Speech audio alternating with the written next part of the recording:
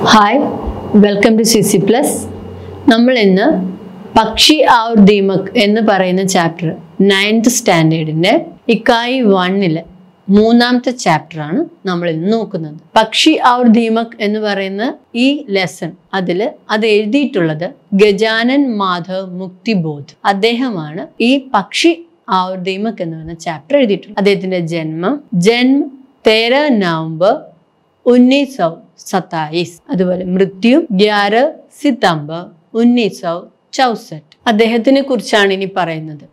ഗജാനൻ മാധവ് മുക്തിബോധ്. ഹിന്ദി സാഹിത്യക്ക് സ്വതന്ത്രയോത്തർ പ്രഗതിശീല കാവ്യധാരാക്ക് ശീർഷസ്ഥ വ്യക്തിത്വം. അദ്ദേഹത്തിന്റെ വ്യക്തിത്വം എന്ന് പറഞ്ഞാൽ ഏറ്റവും ശീർഷ ഉന്നതത്തിലെത്തി നിൽക്കുന്നു.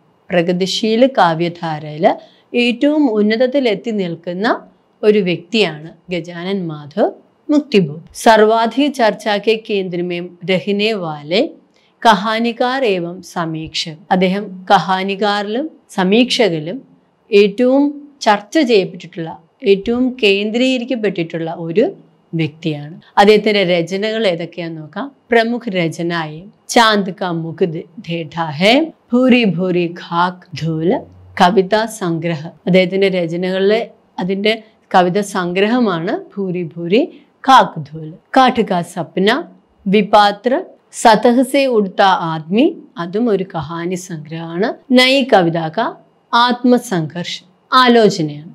ഇത്രയും കാര്യങ്ങളാണ് അദ്ദേഹത്തിന്റെ രചനകളെ കുറിച്ച് നമുക്ക് ഇവിടെ ഈ ക്ലാസ്സിൽ പറയാനുള്ളത്. ഇനി ആ ലെസണിനെ കുറിച്ച് പക്ഷി ഔർ ധീമക് ആ ലെസന്റെ സാരാംശമാണ് പറയുന്നത് മുക്തിബോധ് സെ ലിഖി ഗയി പ്രസിദ്ധ കഹാനി ഏറ്റവും പ്രസിദ്ധമായിട്ടുള്ള ഒരു കഹാനിയാണ് പക്ഷി ഔർ ധീമക് इसमें एक नौजवान पक्षी अपना पंख देकर दीमक खरीद कर खाने लगता है ഇതില് നൗജവാൻ പക്ഷി ഒരു നവയുവാവ് ആയിട്ടുള്ള അവിടെ ഉദ്ദേശിക്കുന്നത് പക്ഷിയെ ഒരു നൗജവാൻ ഒരു നവയുവാവായിട്ടാണ് അപ്ന പങ്ക് ദേക്കർ ദീമക്ക് ഖരീദുക്കർ ഖാനയിലെത്താഹ് ഖാനെ ലഗത്താ ഹെ തന്റെ തന്നെ ചിറകിൽ നിന്ന് ഒരു തൂവലെടുത്ത് കൊടുത്തിട്ട് അതിൽ നിന്ന് കിട്ടുന്ന ആ ഒരു ധീമക് ചിതൽ അതിനെ കഴിക്കുന്നു അതിനെ കഴിക്കാൻ ആഗ്രഹിക്കുന്നു. ഖരീദ് കർ ഖാനെ ലഗത്താ ഹെ അപ്പനെ മാതാപിതാ ഉപദേശത്തക്കോ വ സുൻതാ നഹി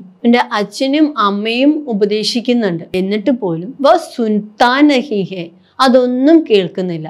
അന്ത്മേ में पंग सब नष्ट होने വ वह ഹെ അവസാനം വ്യാകുലപ്പെടുകയാണ് പക്ഷികൾക്ക് പറക്കാനും പറക്കാൻ വേണ്ടിയിട്ട് ഏറ്റവും അത്യാവശ്യം വേണ്ടുന്നത് ആ ചിറകുകൾ ചിറകുകളിൽ തൂവലുണ്ടായിരിക്കണം അല്ലേ? ഇതൊക്കെ നഷ്ടപ്പെട്ട് കഴിഞ്ഞാൽ പിന്നെ എന്തായിരിക്കും സംഭവിക്കുക? അപ്പം പിന്നെ നഷ്ടപ്പെട്ടതിനെ കുറിച്ച് ഓർത്ത് ദുഃഖിച്ചിട്ട് കാര്യമില്ല അല്ലേ? അപ്പോൾ അതുപോലെ നൗജവാൻ വ്യക്തികൾ അവർ ചെയ്യുന്ന ഓരോ കാര്യങ്ങൾ എന്നിട്ടില്ല. അവസാനം അതിനെക്കുറിച്ച് ചെയ്തു പോയതിനെ കുറിച്ച് ഓർത്ത് നഷ്ടപ്പെട്ടു പോയതിനെ കുറിച്ച് ഓർത്ത് അവർ ദുഃഖിക്കുന്നു.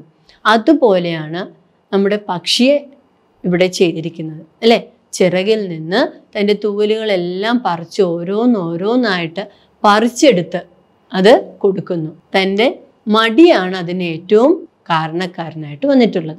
മടി കാരണം അവന് തനിയെ അധ്വാനിച്ച് ചെയ്യാനുള്ള മടി. ഇപ്പം നൗജവാൻ വ്യക്തികൾ നൗജവാൻ നവയുവാവ് അവർ ചെയ്യുന്ന ആ ഒരു അലസത ആ ഒരു മടി അതാണ് ഇവിടെ ഈ സ്റ്റോറിയിൽ ഉദ്ദേശിക്കുന്നത്. നമുക്കൊരു ക്വസ്റ്റ്യൻ നോക്കാം. പക്ഷി അപ്നെ പങ്ക് ദേക്കർ ദീമക് ലേത്താ ഹെ? യഹാം പക്ഷി കാ കോൺ മനോഭാവ് പ്രകട് ഹോത്താ ഹെ? നേരത്തെ പറഞ്ഞ പോലെ പക്ഷി അപ്നെ പങ്ക് ദേക്കർ എന്റെ തൂവലുകൾ ഓരോന്നോരോന്നായിട്ട് പറിച്ചു കൊടുത്ത് ദീമക് ലേത്താഹേ. ദീമക്കിനെ വാങ്ങിച്ചെടുക്കുകയാണ്. ഭക്ഷിക്കാൻ വേണ്ടിയിട്ട്. യഹാം പക്ഷിക്ക കോൺ സാ മനോഭാവ്. ആ മനോഭാവം എന്താണ്? ഇവിടെ പ്രകടമാവുന്നത്. നവജവാൻ പക്ഷിക്കോ അപ്പനെ ഭവിഷ്യ और അസ്തിത്വ കെ സംബന്ധമേ കോയി ചിന്ത നഹി തന്റെ അസ്തിത്വം എന്താണ്? നിലനിൽപ്പ് എന്താണ്? അതിനെക്കുറിച്ചോ? ഭവിഷ്യ ഫ്യൂച്ചർ വരാൻ പോകുന്ന കാര്യങ്ങളെക്കുറിച്ചോ?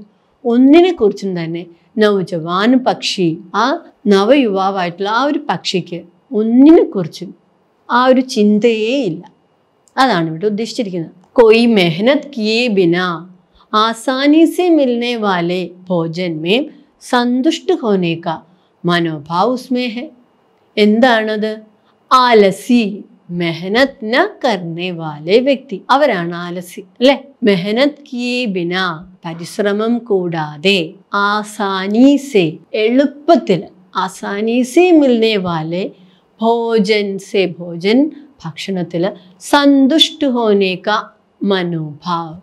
ആ ഒരു മനോഭാവമാണ് നമ്മളുടെ ഇവിടെ ആ നവജവാൻ പക്ഷി കാണിക്കുന്നത്.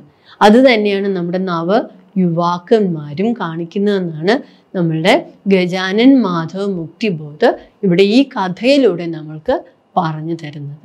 അതാണ് പക്ഷി ഔർ ധീമക് എന്ന് പറയുന്ന ആ ഒരു ലെസൺ ഉള്ളത്. ഇതിന്റെ ബാക്കി ഭാഗം സി സി പ്ലസ് ആപ്പിൽ അവൈലബിൾ ആണ്. C C plus app play സ്റ്റോറിൽ നിന്ന് ഡൗൺലോഡ് ചെയ്യുക. അതിൽ സി ബി എസ് സിയുടെയും സ്റ്റേറ്റിന്റെയും ഫിഫ്ത്ത് തുടങ്ങി ടെൻത്ത് വരെയുള്ള എല്ലാ ക്ലാസ്സിനും കാണാൻ സാധിക്കുന്നതാണ്. പിന്നെ ഹിന്ദി മാത്രമല്ല എല്ലാ സബ്ജക്ട്സും അവൈലബിൾ ആണ്. സി സി പ്ലസിന്റെ യൂട്യൂബ് ചാനലുണ്ട് അത് നിങ്ങൾ സബ്സ്ക്രൈബ് ചെയ്യുക. അപ്ഡേറ്റ് ചെയ്യുന്ന എല്ലാ വീഡിയോസും നിങ്ങൾക്ക് നോട്ടിഫിക്കേഷൻസ് ആയിട്ട് വരും. അപ്പോൾ അടുത്ത വീഡിയോയിൽ നമുക്കിനിയും കാണാം. Thank you